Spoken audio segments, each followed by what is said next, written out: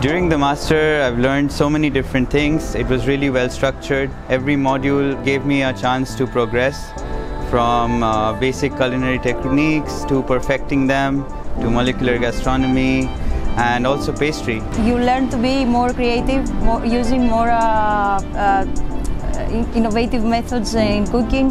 How to transform the ingredients into what we desire or what the customer desires.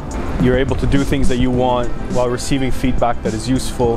The cuisine is unique over here and uh, they use a lot more ingredients like there are versatility of ingredients and uh, the more you learn you feel like you have to learn more more about the ingredients. Uh, also because in the modules everybody finishes at a different time.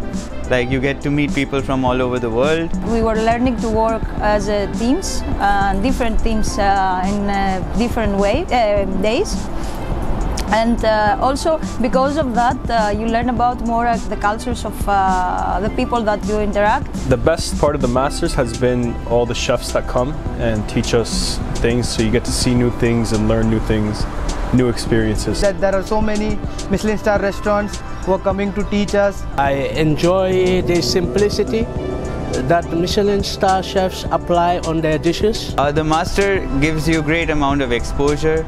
It also gives you a lot of time to think about your own professional development on what you want to do and gives you the opportunity to work with different chefs, different professors who are from different places. It gives me a clear outline of the direction I need to go and what I need to do, uh, the steps I need to take.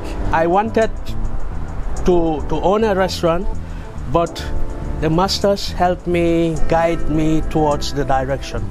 The knowledge that they imbibe in during the master is amazing and through that I know that I can now approach a, a restaurant of a high caliber and I'm confident.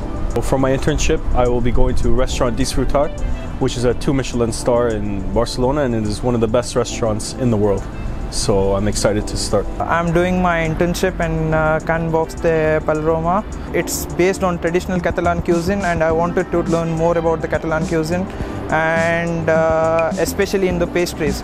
It's one of a lifetime experience I could say. Wonderful. Fun, intuitive and opportunity. Sant Pol experience, best experience. Yeah.